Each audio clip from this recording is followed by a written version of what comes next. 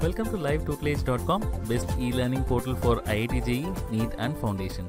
Hello students, in this video I will discuss how to calculate Henry's law constant by using Henry's law.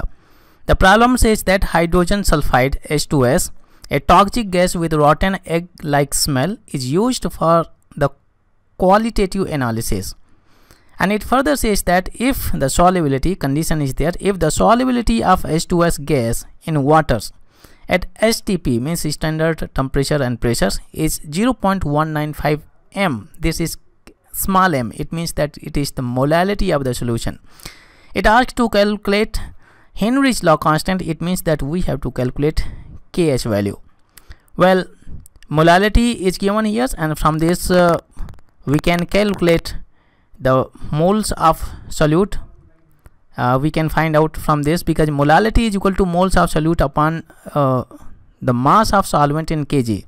It means that 0.195 moles H2S is present is present in solvent. Solvent is waters in 1000 gram H2O from this information this is the data we got.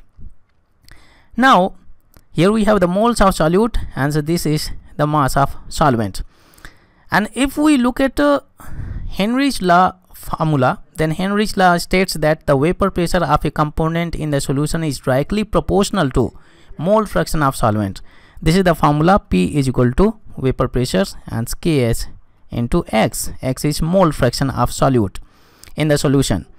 First we can calculate mole fraction from this data. This is the data we have. Moles of uh, solute we have that is H2S and moles of solvent we need to cal uh, calculate. This is the mass of uh, solvent waters. We can convert mass into moles. Here we have the moles. Moles of H2O is equal to we always use molar mass to convert mass into moles of a compound. Here we have 1000 grams.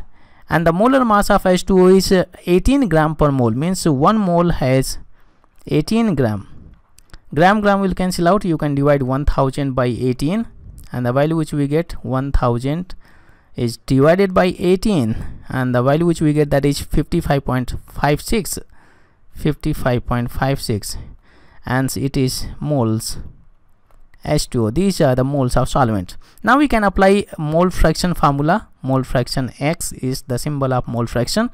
Is equal to moles of solute. Here we have moles of uh, H2S upon moles of moles of H2S plus moles of solvent that is H2O. We can plug in the values here. Moles of H2S we have already that is uh, 0.195 this is the value given here 0.195 0.195 and it is in moles and moles. Again here we have moles of H2S 0.195 plus moles of solvent. This is what we have calculated 55.56 same unit will cancel out. It is in moles. It is also in moles. Will cancel out. Now we can add up the bottom values.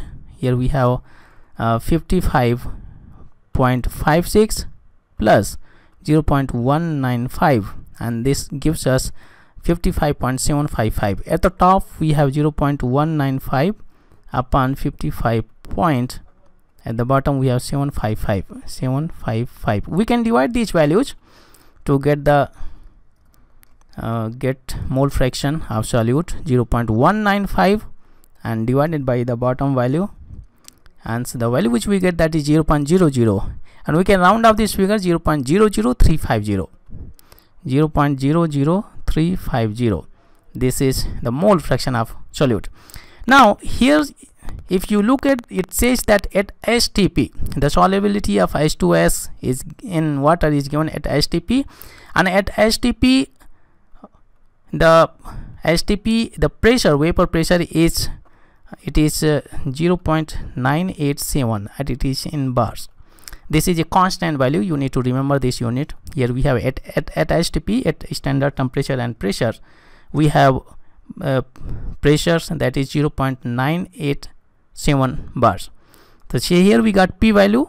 That is constant value. It is not given in the problem but you need to remember this value 0.987 bars. X value we have calculated. We can plug in the values and we can calculate kh value. That's what we have to calculate let's plug in the values. P value is 0.987 bars. Here we have 0.987 is equal to kh and multiplied by uh, sorry it is also looking like uh, mole fraction. I put up here dot. Mole fraction 0.00350 we can transfer this value on left side to find kh value is equal to 0.987 and at the bottom we can put 0.00350 you can divide these values. And uh, its unit is bar. Then kh value we are going to get in bars. Here we have at the top 0.987 987 and it is divided by 0.00350 and the value which we get that is 282 282 and it is in bars. This is the Henry's law constant. You can see that how I calculated kh value by applying Henry's law thank you if you like this video please click the like button if you have any questions or suggestions please comment below for more updates on IIT JEE or NEET exams please subscribe to our channel to get a lot of updates support us by following us on Facebook and Twitter to sharpen your skills please try out our test series on livetutelage.com. Thank you so much for watching. Have a great day.